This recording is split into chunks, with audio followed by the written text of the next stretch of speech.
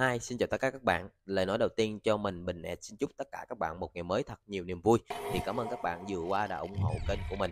Thì à, để không vui lòng các bạn thì mình sẽ cố gắng lên những clip với những cái à, mẫu xe mới nhất à, tại cửa hàng cho các bạn có thể tham khảo trước khi các bạn quyết định mua một mẫu xe nào đó để biết những cái tính năng cũng như những cải tiến được áp dụng trên cái mẫu xe để các bạn có thể lựa chọn một mẫu xe mà mình sử dụng tốt nhất khi các bạn ra cửa hàng mua không có bỡ ngỡ các bạn có thể tham khảo cái uh, clip của mình để các bạn biết được các bạn có thể uh, không có văn răng khi các bạn ra cửa hàng á.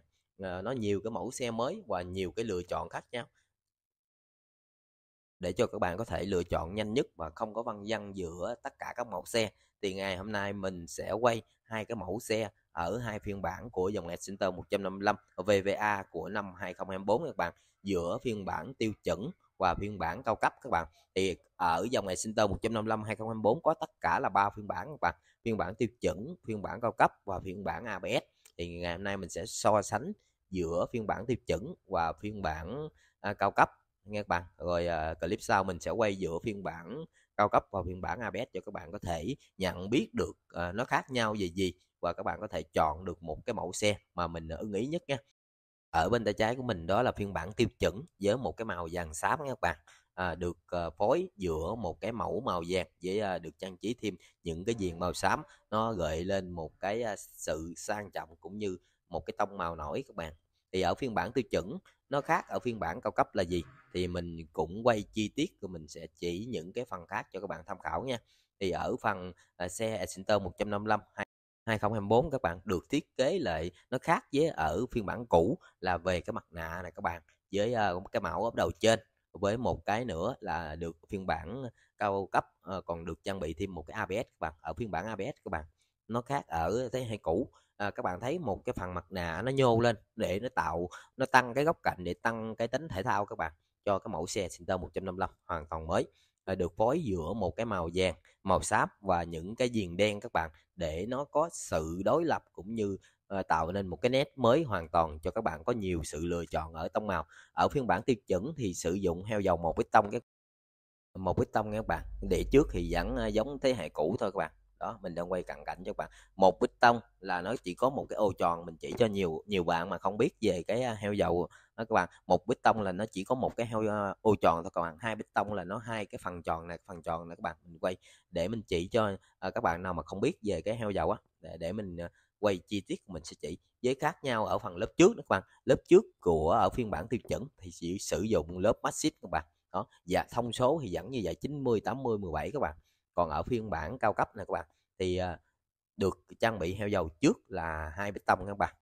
Còn bên đây ờ, bên phải của mình mình đang quay cho các bạn là ở phiên bản cao cấp các bạn, được ờ, màu đen nâu các bạn, một cái mẫu màu mới hoàn toàn của dòng ngày Center 155 2024 các bạn. Đó. Ờ, một ờ, được phối giữa một cái màu đen bóng và một cái màu nâu bóng để nó tạo nên một cái sự sang trọng cũng như một tinh tế ở mẫu màu. Thì ở heo dầu hai bê tông các bạn thấy không? Được có hai cái ô tròn các bạn là kêu bằng ờ, phanh hai bê tông các bạn. Thì phần đĩa trước thì vẫn vậy, chỉ có phiên bản ABS là đĩa nó lớn hơn thôi các bạn. Còn phiên bản tiêu chuẩn ở phiên bản cao cấp thì thông số đĩa nó vẫn bằng nhau là 245 mm các bạn. Lớp trước thì sử dụng lớp khác nhau nghe ở phiên bản cao cấp thì sử dụng lớp IGC uh, gai ờ, uh, xuôi tới các bạn. Còn ở phiên bản tiêu chuẩn thì gai ngược. Uh, vỏ maxit còn ở uh, phiên bản cao cấp sử dụng vỏ IGC các bạn. Nó khác về cái uh, cái nhà sản xuất uh, lớp thôi các bạn. Ở uh, phiên bản tiêu chuẩn thì lớp maxit còn ở phiên bản uh, cao cấp thì sử dụng vỏ IGC các bạn. Đó thì thông số lớp thì vẫn y gan vậy thôi các bạn. Nó không có gì khác nhau. Nhưng mà ở phiên bản tiêu chuẩn là không có viền mâm các bạn. Đó chỉ có là màu đen còn ở phiên bản cao cấp phiên bản ABS thì được ờ, uh, viền những cái mâm mới hoàn toàn của năm 2024 các bạn. Ở hai cái phiên bản mình đang quay cho các bạn.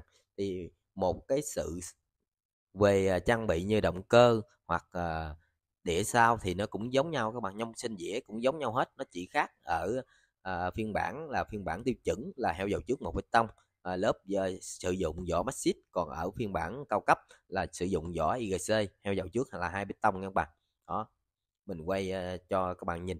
Bên uh, tay trái của mình là heo dầu một bê tông còn bên tay phải của mình là heo dầu hai bê tông. Hai bê tông thì nó bự hơn các bạn.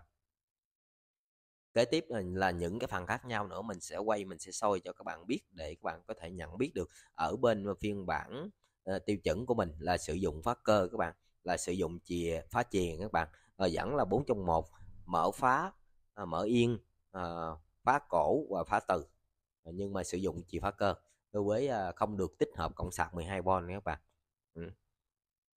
Mình sẽ quay sát vô cho các bạn ờ, xem nhé. Thì động cơ ờ, vẫn sử dụng động cơ 155 như nhau các bạn. Động cơ là không có khác gì. Về cái mặt đồng hồ cũng không khác gì giữa hai phiên bản luôn. À, đồng hồ vẫn sử dụng chung, những tính năng trên đồng hồ đều giống nhau hết với hệ thống đèn như là công tắc tay trái tay phải đều giống nhau hết các bạn. Đó, chỉ khác là thắng trước à, với là sử dụng ổ khóa chỉnh cây, phiên bản tiêu chuẩn thì sử dụng khóa thường, không có cộng sạc 12V phiên bản cao cấp thì ờ, có tích hợp thêm cộng sạc 12V các bạn. Đây, khóa cơ ở phiên bản tiêu chuẩn các bạn, không có cộng sạc 12V các bạn.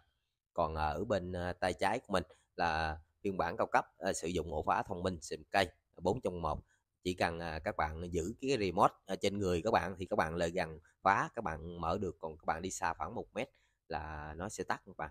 Ừ còn à, được tích hợp thêm một cái à, cổng sạc 12V nữa cho các bạn có thể đi đường xa các bạn có thể sạc được à, những cái linh kiện điện tử như điện thoại hoặc những cái camera mà các bạn quay hành trình á.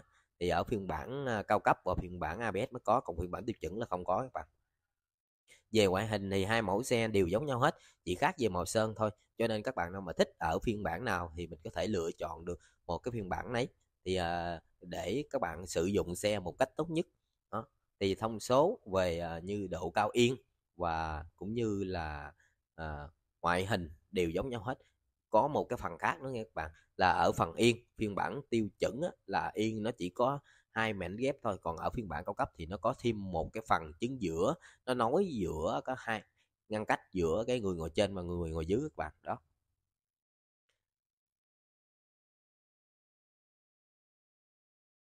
Đó các bạn thấy không? Một cái mẫu yên của phiên bản cao cấp thì nó có thêm một cái da nối chính giữa nữa các bạn nè đó. Tách rời hai cái phần à, yên ra đó nó có tạo nên một cái điểm nhấn cũng như một cái à, vẻ đẹp cho phiên bản cao cấp. Còn phiên bản tiêu chuẩn là chỉ có hai phần thôi các bạn không có cái mảnh ghép chính giữa các bạn. Hai mẫu màu xe thì mỗi màu nó có một cái nét đẹp đặc trưng riêng ở cái uh, tông màu các bạn. Cho nên mình uh, đã yêu quý màu nào thì các bạn có thể là mình thích màu nào mình mua màu nấy thôi. Các à, các bạn có thể là yêu quý ở phiên bản à, tiêu chuẩn giữa phiên bản ABS nhiều bạn mà không thích sử dụng ổ phá thông minh xịu cây nó gồm gài các bạn có thể chọn ở phiên bản à, tiêu chuẩn. Còn các bạn nào mà thích sự mà thông minh cũng như những cái tính năng mới các bạn có thể chọn ở phiên bản cao cấp. Tại vì ổ khóa thông minh siêu cây các bạn tích hợp được chống trộm chống cướp các bạn không có cần gắn thêm chống trộm các bạn không cần gắn thêm ờ, chống trộm nha các bạn. Đó thì ờ, ở phiên bản ờ, cao cấp thì nó hơn, phiên bản tiêu chuẩn là được bố trí heo dầu trước hai bê tông. Nó có sự chắc chắn và ở cái lực thắng nó tăng hơn ở phiên bản thường các bạn. Cảm ơn các bạn đã xem hết clip của mình. Xin chào.